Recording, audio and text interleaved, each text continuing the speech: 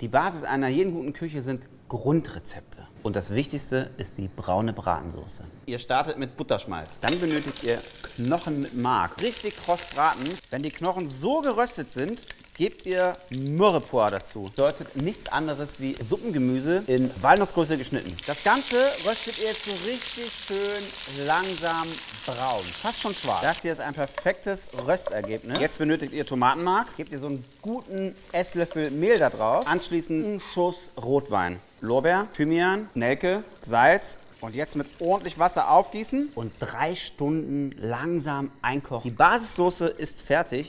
Zum Abbinden ist immer wichtig, die Soße aufzukochen und dann Kartoffelstärke und verrühren und nochmal aufkochen. Das Ganze, wenn ihr möchtet und die Soße nicht sofort benötigt, füllt ihr einfach in ein Glas. Hält sich locker 14 Tage oder ihr friert es einfach ein. Viel Spaß beim Nachmachen.